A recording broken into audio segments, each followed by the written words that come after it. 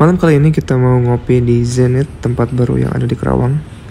Kita langsung saja buka pintunya dan pesan beberapa makanan. Sudah sampai, gue pesan um, matcha coffee dan juga almond milk serta almond croissant.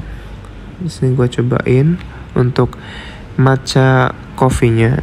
Gue memang ini perpaduannya agak sedikit uh, lumayan enak ya dan gue cobain untuk croissant almondnya. Dan ini memang enak ya gue suka banget karena teksturnya itu crunchy dan juga manis dari almondnya. Oke yang satu lagi ini adalah almond oh sorry almond milk atau kopi. Cappuccino. Di situ kita pesan cappuccino. Memang juga enak sekali. Kopinya kerasa.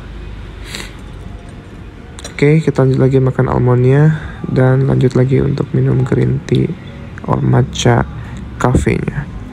Jadi malam ini terasa lebih enjoy. Segitu saja dan terima kasih.